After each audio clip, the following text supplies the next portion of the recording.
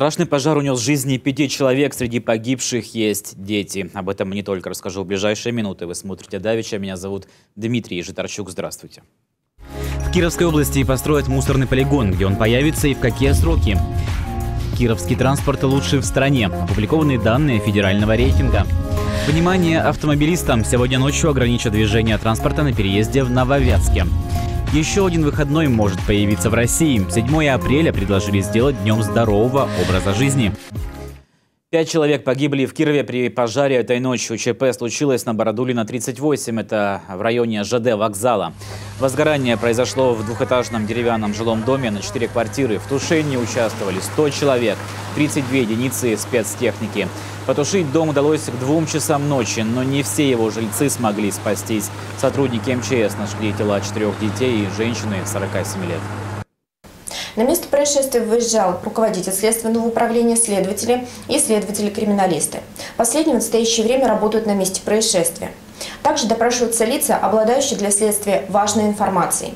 По факту пожара возбуждено уголовное дело, назначена экспертиза с целью установления причин пожара, как нам удалось узнать, в пожаре на Бородулина есть и пострадавшие. 13 человек были эвакуированы, 6 из них с травмами госпитализированы. Как рассказали в правительстве области, сейчас решается вопрос об оказании погорельцам финансовой помощи. В настоящий момент людям оказывается необходимая помощь. На базе одной из гостиниц в городе Кирове развернут пункт временного размещения пострадавших – Прямо сейчас наш корреспондент Ульяна Ездакова находится на месте трагедии. Ее сюжет э, со всеми подробностями ночного ЧП смотрите в нашем вечернем выпуске новостей в 19.00.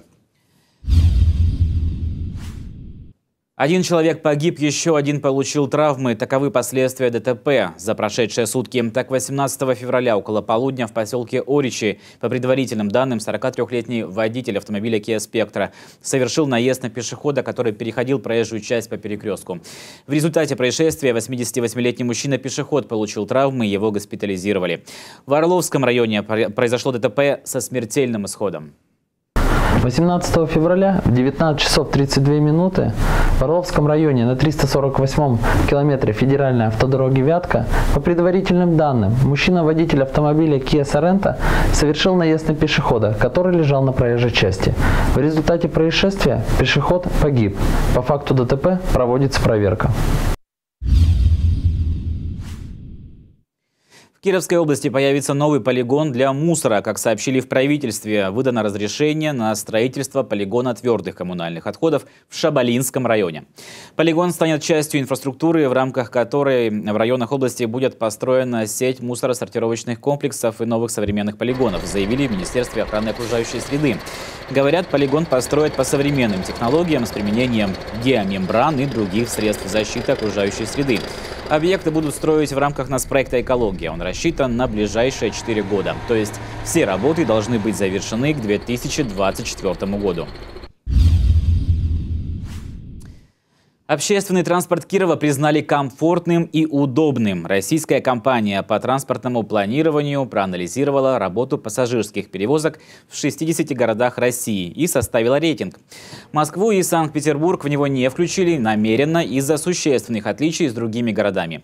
Э, в исследовании проанализировано 40 э, показателей, которые характеризуют работу общественного транспорта. В их числе близость остановок от мест проживания, качество обслуживания, скорость движения, наличие транспортных карт, гибких тарифов и другое. По результатам оценки Киров набрал 64 балла, занял восьмую строчку в рейтинге и вошел в первую десятку городов с самым качественным транспортом страны. На самом деле он действительно конкурентоспособен. Объясню почему. Часто приходится ездить по городам, по другим. И недавно был в Перми и видел, что в Перми еще ездят автобусы 90-х годов выпуска. Да, они иномарки, но тем не менее, представляете, когда автобус более 20 лет, все равно это сказывается там и на качестве, и на комфорте пассажиров. Сегодня ночью будет ограничено движение транспорта по железнодорожному переезду в Нововятском районе. С 8 часов вечера до 5 утра на этом участке будут проводить работы по выправке пути. В связи с этим организуют реверсивное движение. Водителям рекомендуют планировать поездки заранее. Возможно, в России появится еще один выходной 7 апреля в честь Всемирного дня здоровья. С таким предложением выступил руководитель проекта «Трезвая Россия» Султан Хамзаев.